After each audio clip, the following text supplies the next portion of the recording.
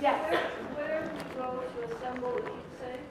It's going to be at the Palace Ballroom tonight at 7.30 before the Pechakucha session with Carrie Cushman and Jay Fox. So 7.30 this evening. Okay.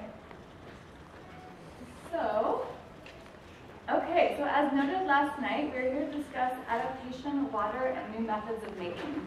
Water conservation and strategic studio practices have been central to this series of presenters.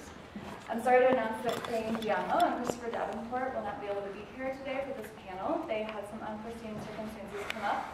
So we have a shortened panel, but I'm very excited to introduce Yama uh, Ploskonka, Tom Balbo, Radha Pandey, and Hung Hung. So Yama, if you could get us started.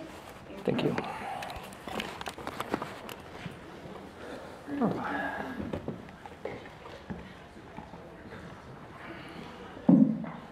So, we're using weather in small hand paper making shop. the phone looks funny. So good morning to you all. Uh, greetings from. Make sure you speak into the mic. Into the mic. Uh, maybe, whoops. Yeah. I'm the kind that goes around with mics anyway. Greetings from today warm and humid Austin, Texas, which is my hometown for this season in life. I feel enormously honored to be here today in most associations. For a first year member to present at a national conference level, either it had to be that he is very well connected or that he has something very important to share. now, there is actually pretty good evidence in writing that at the time when I applied to present at the conference, I was not well connected. So I am here at Friends of Dard Hunter conference because I actually think that there's something valuable that might be actually not just valuable, but useful for everybody that makes paper. In short and few words, I figured out simple ways that can save and rescue over 84% of the water used in Western uh, technology paper making as compared with what I would call the traditional process. Being new on all, I want to start my presentation with a word of thanks for some among many of those that have inspired my way here. But that in no way any of them have anything to do for anything that you might not like that I say. Just a disclaimer, my words, yada yada. but I, you are 120% to adopt my words as yours, if you uh, see it fit. You see the CC by, uh, by SA, that's Creative Commons, just go ahead, copy my stuff. And I think that you should, and I hope that you will. Helen Hiebert's Papermaking was the first book on the subject that I purchased. My copy is dog-eared and so on because it's a tool. And I show it to people that I try to inspire to make paper as, okay, do this and you'll be okay. Brian Quinn might have been surprised when he got my phone call in his shop in Calgary, but that did not stop him from guiding me to understand some very essential points of chiaroscuro watermarks, which was my first project as a new paper maker. Oh, I didn't know anything. and I will not mention other people that are in this conference, as there are quite a few others that I would call my uh, mentors that are here. But far away, I will mention Sandro Tiberi, whom I will dare say is maybe the top paper maker of my generation. We happen to be of the same age. But boy, what a brilliant Maestro Cartaio, and generous and a businessman and an artist and not a bad poet. Someone who's a good friend that I can go with the question also. Mirella Monti Belche was the very first paper maker that I, paper artist that I met in real life. And she made me realize something that I was understanding, that paper making is fun. And that kind of fun is something that is almost uh, secret knowledge that all real paper makers share. Almost as like an initiation, when you really get it. And the encouragement and patience of friends and, of course, my Deb, wife. So, let's get down to business. Sustainability, subject of this conference. Sustainability and water conservation are in the same sentence in the first screen of our website about our, uh, our uh, conference, and that's not an accident. Now, the problem is that do we mean it? Is sustainability something more than a word? So one of my favorite authors, uh, Randall Munroe, made this uh, comic. Yes, word sustainable is not sustainable. If you follow the trend, when uh, you follow the trend, by the year 2120, uh, 2009, all sentences are just the word sustainable repeated over and over.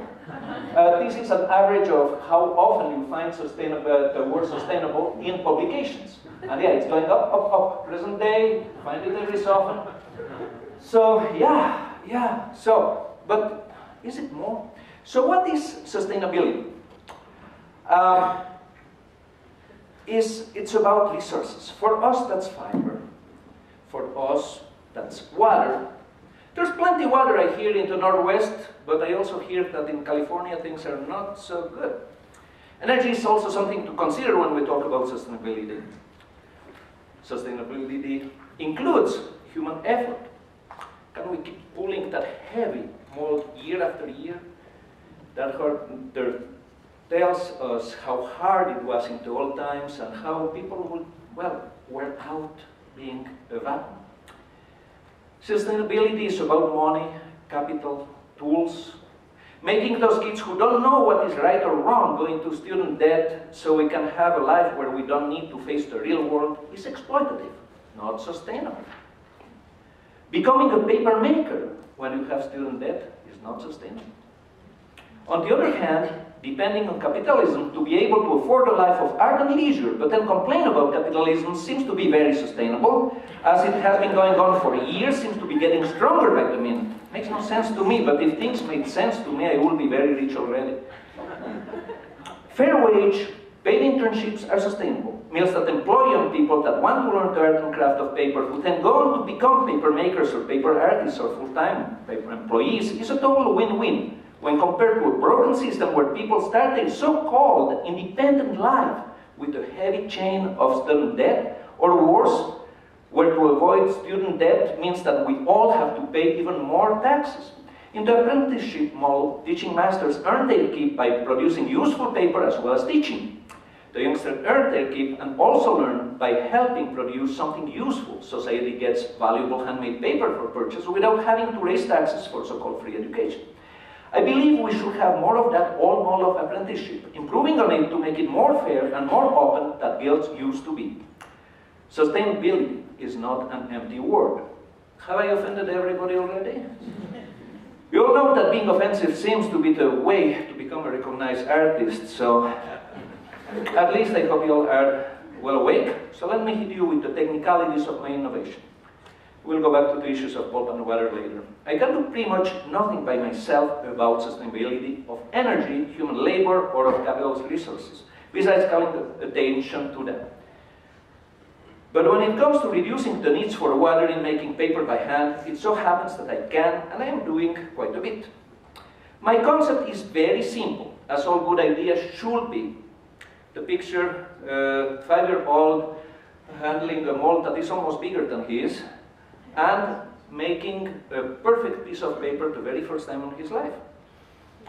What I call traditional paper making is very needy and very wasteful of water. Very.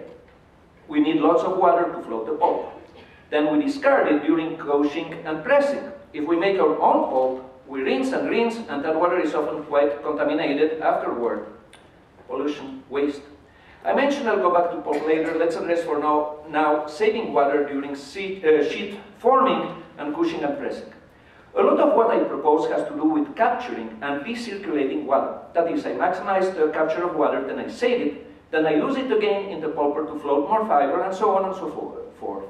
Same water. In the last three months, I've needed tap water only once, all the rest being provided by rainwater, and some of the dirtiest water captured ending up in my compost pile, not in the soil. The rest goes around and around, also saves in sizing and titanium dioxide. Yes, mine is a very small operation, but were it bigger, it seems that I could manage with larger rain water storage. In principle, traditional paper making could use some kind of container to catch the water during pressing time, but that is not efficient or practical, really. You got to catch that water earlier in the cycle. One of the advantages is that uh, of my system is that when pressing is essentially a, a dry operation. And like uh, Malachi Monsi, a colleague uh, in Texas, said to me when he saw my rig, now we can make paper on carpeted floors. I don't recommend it, but, but tomorrow you will see. It's, it's sort of surprising.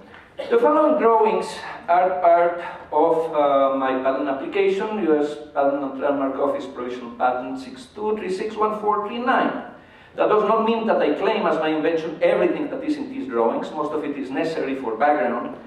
But some of what is shown here is real innovation that were worth the enormous trouble of making the patent application. So what we have here is a view of my vacuum table. Here's a quad view. Pretty obvious, uh, you can see how the working area, that will be number 114, um, is on top of a seal box that then has air pulled out of it through a pipe 108. Now something quite important in my system is that you can flip the table up. Here is something that I am quite happy with. Um, it's the valve to capture the remnants of uh, pulp that are on the edges of the frame of the mold.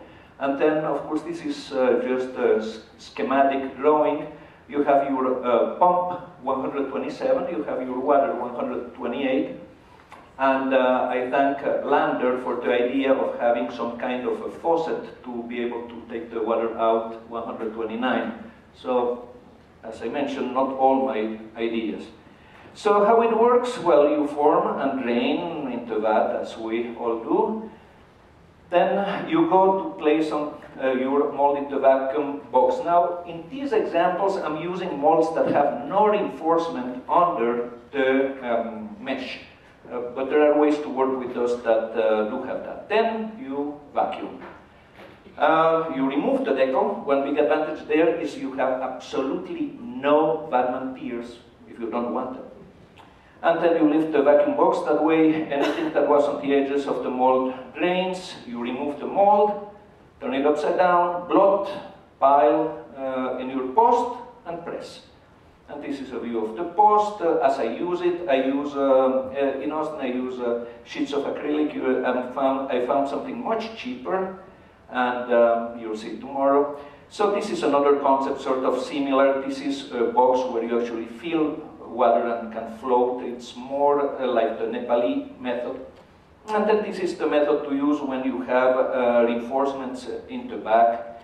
you transfer, and or if you're doing um, chiaroscuro watermarks.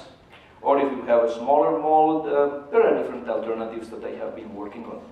So, now the practicals of saving water into manufacture of paper by hand at tiny expense, my whole rig is something like $90 plus the shop vac, or inconveniences are a good thing. But my main message, what I really feel that I must share with you all, is not something that will make us happy as continuing doing what we have been doing.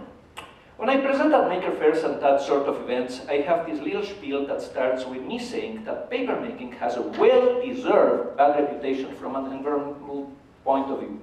I guess most of us would agree that that's the reputation that papermaking has. Papermaking, paper mills, stench, polluted rivers, right? Well, today the reputation of paper and pulp is certainly not as bad as that of hunting large mammals. But many people will agree too fast and without thinking with the same meme that paper making is bad because it kills trees. My grandma had a piano where the keys were covered with ivory. That was real ivory. There was a time when that was okay. Now it is no longer okay. It is still legal to kill elephants. That elephant was killed legally. Or whales, believe it or not. But it is not something that most of us will say is okay, except for science. Science can get away with murder or in murdering whales, but let's not go there. My point here is that the times, they are changing. And he got the Nobel Prize, you know. I stand here to say that making pulp out of plants as we used to know it is pretty much over.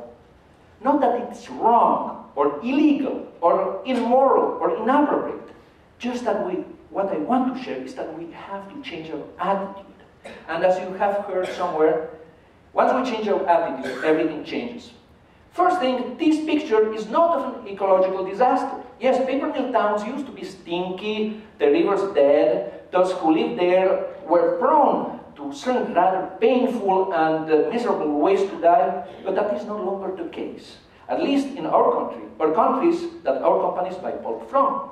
Despite ignorant protests, for example, pulp manufacturing in Uruguay, my country also, yeah, you know, is probably more sustainable than anywhere else, as the country had pretty much zero trees until massive eucalyptus plantations were established, a tree that grows fast and grows back from the stump once it has been cut.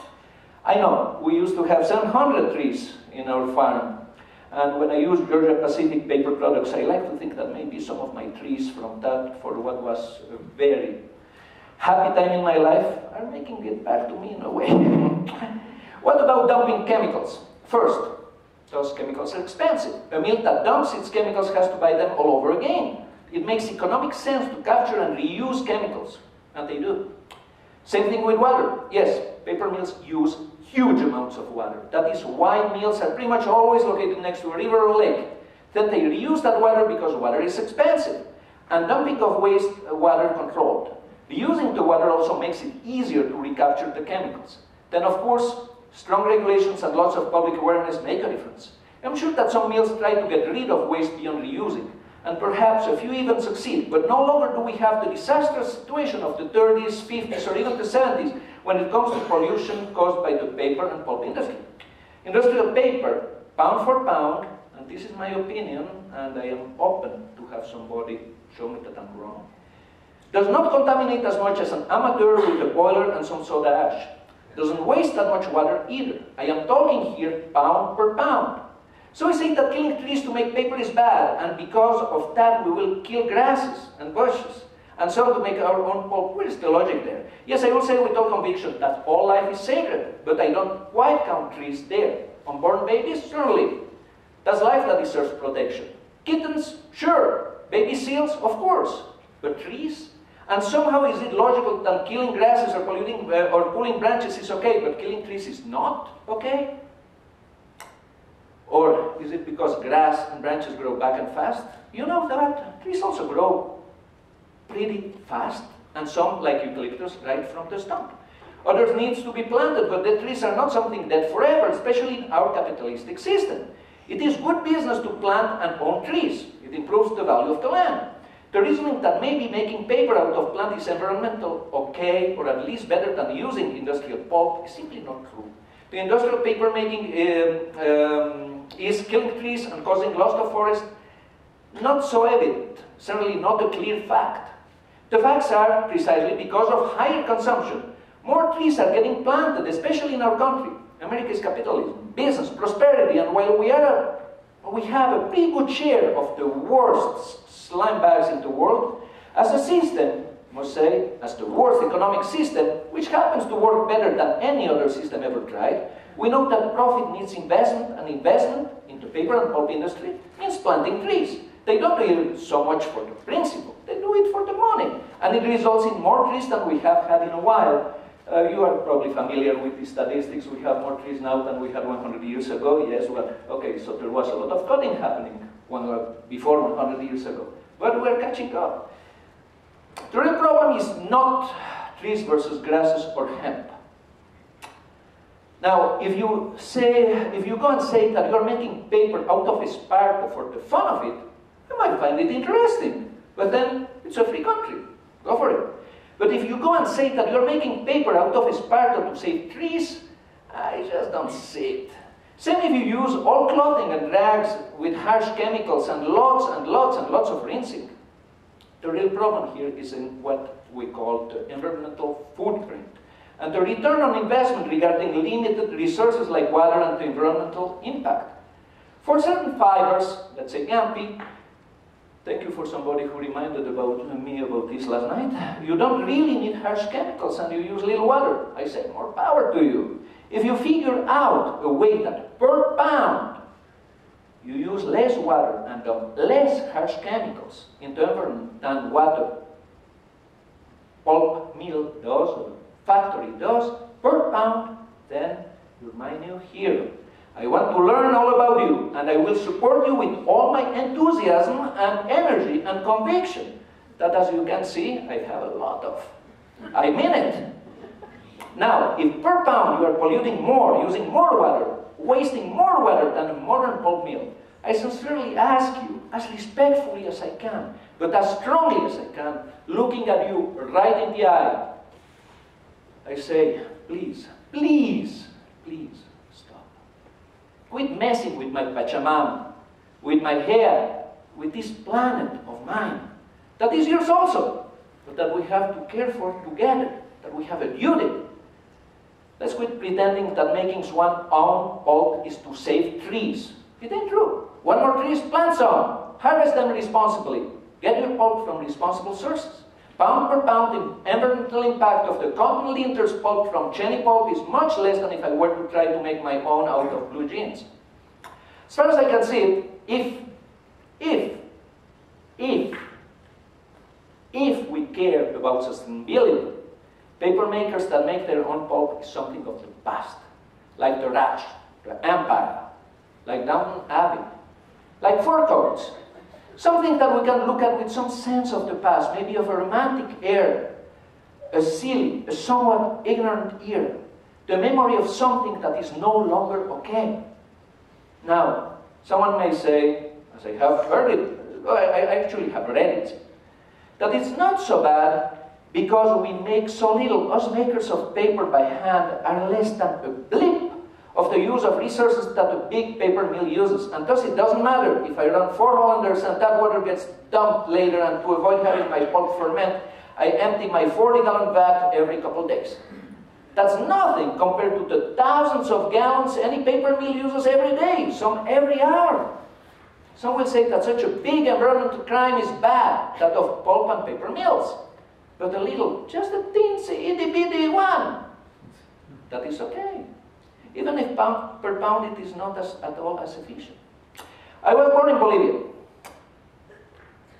I assure you that's not my fault, I wasn't consulted. But it so happens that we have issues with water over there. As a kid, I have been there by the water truck to wait for water, which is what kids can do as useful thing for the family, make sure no one takes your place or steals your buckets. They still do it in Bolivia. Many of these pictures are from Bolivia. They do it in Africa, they do it in Asia. Yes, kids and grown-ups still wait in Bolivia for the water truck today, or have to share the one faucet for hundreds of people, if they have at least that. And will no doubt keep doing it thanks to corrupt governments with better ways to waste money than providing services. And a population that, I cannot really blame them, doesn't want to pay taxes or pay for water. Water is a human right, they say. The problem is water ain't free. If we feel that we can get away with wasting water because we have better plumbing here, tell that to Mono Lake in California. Tell that to people all over the world where women have to walk miles to carry a jar with muddy water. No, can't do that, can we? We don't want to be ugly Americans, and I agree. Can we pretend that because we're saving trees, we make pulp in a process that is embarrassingly wasteful of water? In the face of real water shortage, real pain peoples of this earth.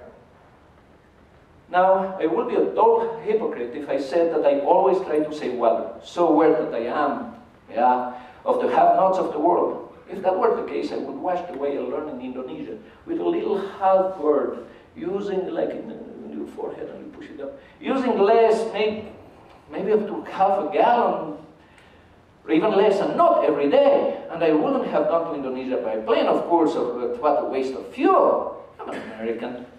I take a nice shower every day if I remember. Taking a shower a couple of days ago, I was thinking that I was that if I am so careful about my water when making paper, but really, every time that I have a shower, I use more water than I use in a week of making paper because I reuse my, my paper uh, water.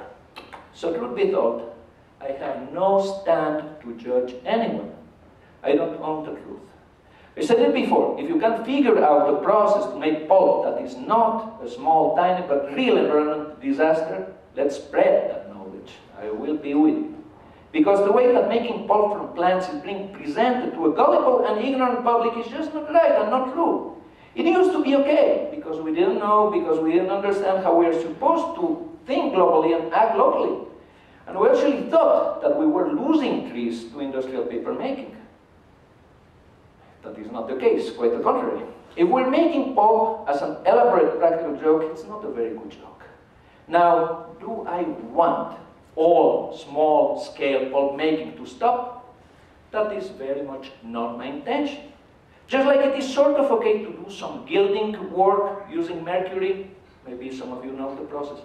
Ceramics in engobe using manganese dioxide, solar prints with bichromate of potassium. I guess that it is okay to make some small scale pulp out of some fiber that you have. Sure, art. I believe it's okay, and I mean it. As long as we don't even pretend that doing that is to save trees or the planet, because it ain't. Be aware of our karma. Plant a few trees from time to time. That helps. We can make pulp respectfully, aware of our environment, our impact, footprint. We do it carefully, responsibly. We enjoy the fact that we can do mature adult things in a mature adult way. Somewhat like having some alcohol from time to time. Not good if you do a lot, but okay if we know what we're doing and the consequences, and we're not pregnant and we're not driving. Just like fishing is okay. Just like eating a hamburger doesn't necessarily mean that you are a bloodthirsty assassin accomplice. Let's be aware of what sustainability means. Let's save water, energy. Let's save the pride and worth of man and woman as they labor honestly. Let's share our knowledge, make our footprint on this earth be a gentle one. I am not here to condemn anyone. I am here to do my part to make things be better, or at least a little bit less worse, as we walk the talk of sustainability together. Thank you very much.